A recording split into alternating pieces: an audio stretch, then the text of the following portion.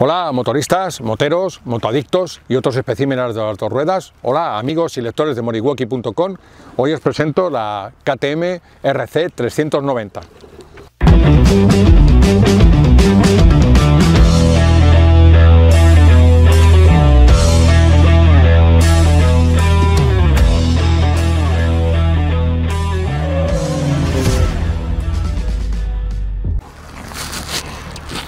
Bueno, qué deciros sobre esta moto, es divertida, divertida, divertidísima eh, y bueno, no hace falta tener 18 años, sino que con 63 bien cumplidos eh, uno se lo pasa pipa, así directamente con esta fantástica KTM que, parece un juguete, pero bueno, que no tiene tanto de juguete, pues una moto muy, muy seria eh, una vez que te subes a ella y empiezas a conducirla.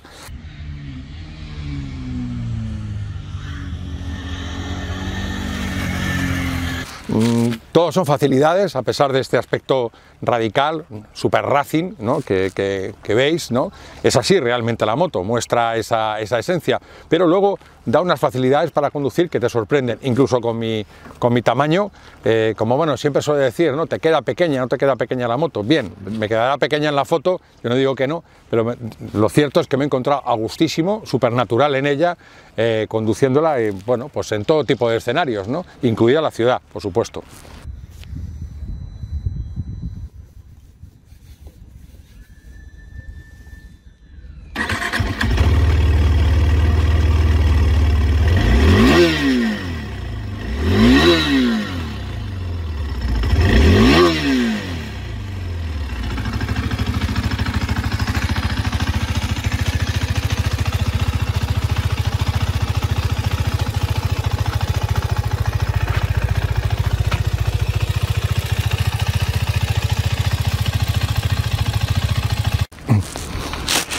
¿Qué habla de este modelo? Pues empecemos por la postura.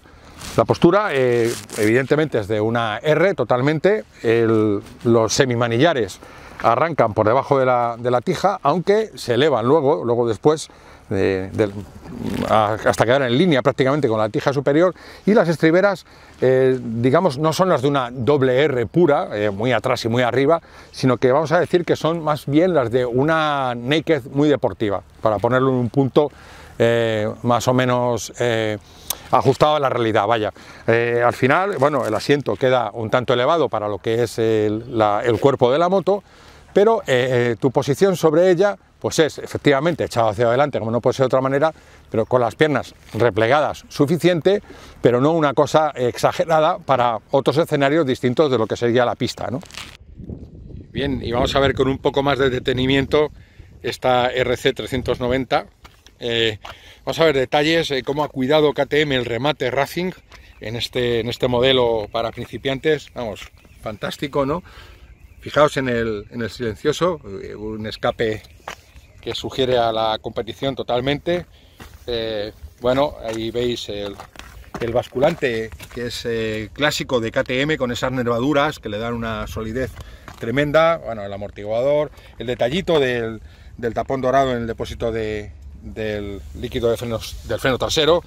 Eh, y ahora vemos aquí los semimanillares que como hablábamos eh, arrancan efectivamente por debajo de la tija superior, pero como veis se elevan luego después eh, para dar al final una posición no tan tan extrema y tan radical como en algunas deportivas.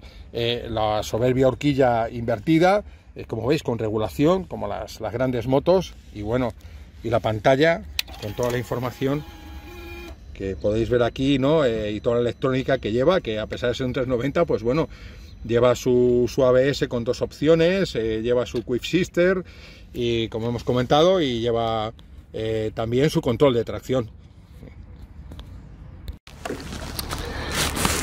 En cuanto al comportamiento dinámico, en curva y demás, pues sencillamente, como decías, si todos son facilidades a la hora de, de abordar virajes con, ella, es, simplemente el pensamiento el que, el que dirige todo. Cualquier gesto de nuestro cuerpo, la, esta RC 390 lo interpreta inmediatamente y se tira por la curva, por el ápice eh, o nos saca de ella, simplemente con, un gesto del pensamiento, como digo, es todo súper rápido, súper super directo y bueno, para aquellos que, que empiezan en el mundo de la moto, es una moto un modelo ideal para iniciarse en la conducción deportiva, desde luego, y en el que tendrá una primera tarea a la hora de graduar el grado de inclinación, por, bueno, ya que eh, es tan rápida inclinando que ahí tendremos que eh, no quiero decir que sea brusca, quiero decir que es rápida, entonces tendremos que ajustar eh, una graduación a medida que inclinemos más, menos, en fin, lo que necesitamos en cada, en cada curva y en cada, en cada trazado.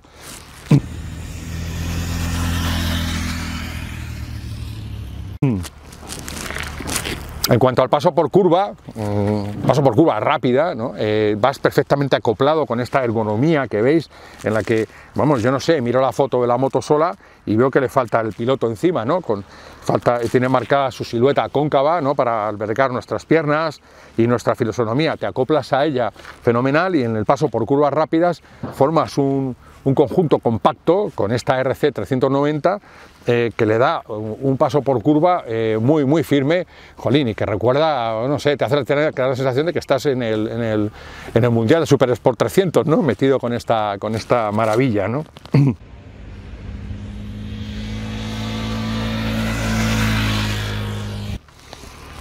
Sobre el motor, el motor eh, lo arrancas y se escucha ahí casi una máquina de coser al, ralentí con estas medidas tan estrictas que, tenemos en cuanto a, bueno, a medio ambiente se refiere, ya sabéis.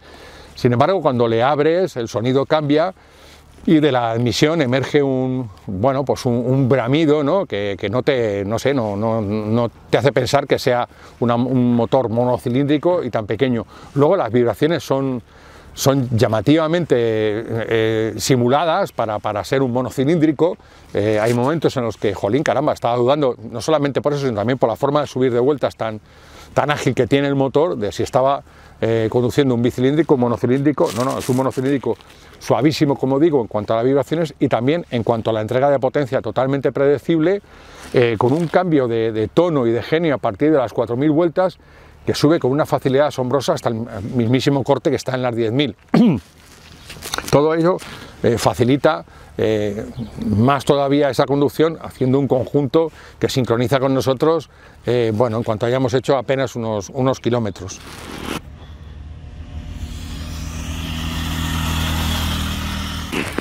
¿Qué deciros? Bueno, pues es una moto ideal para la gente joven, por supuesto, pero insisto, para la gente joven de espíritu, porque yo me lo he pasado como un indio con ella eh, y, lo que diría a los más jóvenes es que aprecien en una moto eh, para ellos, para los principiantes que no han tenido más motos, bueno, pues que aprecien las calidades del, remate de esta moto que son propias de una 1000 o una moto muchísimo más cara, ¿no? El tejido antideslizante de los, de los dos asientos, eh, que para el conductor es prácticamente una silleta de, de, carreras, ¿no? Que te da una fijación y recibes todas las, toda la información que te manda la moto, eh, la calidad de los, de los, plásticos y detalles en los acabados como esos, las tapas, no sé, doradas de los depósitos de, los, de ambos del líquido de ambos frenos, la parte dorada del buje, la corona, etcétera. Es una moto muy muy bien rematada que luego además lleva su paquete electrónico también, también. El paquete electrónico está dirigido por una pantalla que es un verdadero lujo en un modelo así, eh, en el que bueno, puedes graduar eh, el, el Shifter, que, también va equipado con él para, el cambio, aunque de verdad os digo que va tan, tan suave eh, y tan sincronizado el cambio y el embrague y demás, que, es, es, solamente, es, bueno, va sincronizado de una forma que, casi, casi me dirá que no te hace falta el Quick Shifter, pero bueno, aún así lo lleva, es desconectable, tiene su control de tracción y tiene un ABS en dos modos, un modo supermotar que te libera el, ABS trasero y un modo de, carretera, bueno, pues para actuar sobre ambos, ambos trenes.